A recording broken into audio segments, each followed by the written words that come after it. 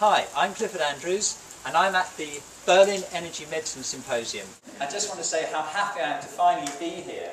It's just so great to actually be here because this has taken so much preparation over the last year and certainly last week. Um, Jim and I have been like emailing backwards and forwards, um, trying to find something we hope will be very interesting and exciting for today. Part of this has to do with the language that we use to communicate with others who would like to understand your work.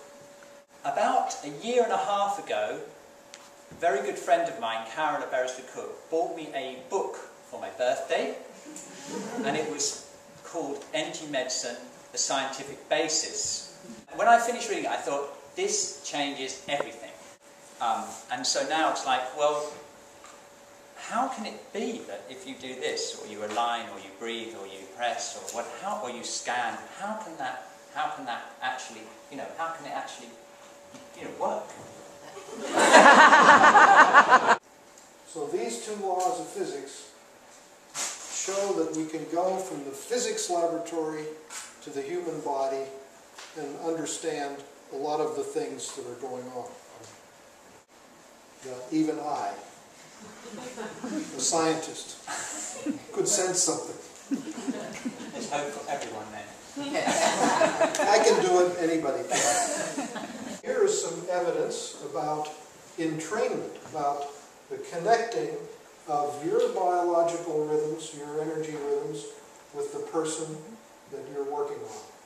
And what they discovered is one person's electrocardiogram, their electrical heart rhythm entrains or synchronizes with the other person's brain rhythm, called the electroencephalogram. Most of the tissues in the body are piezoelectric flow and applying pressure, the piezoelectric effect. It's created by compression within the liquid crystal structure of the body. People looking for the laser beam didn't know about the work of Herbert Froehlich. Herbert Froehlich discovered that these crystalline materials in the body, when they have an electrical field across them, will vibrate intensely and produce coherent, laser-like light. All those people that thought we were crazy and thought it was impossible, now, I'm afraid, the only thing we can say is they're out of date.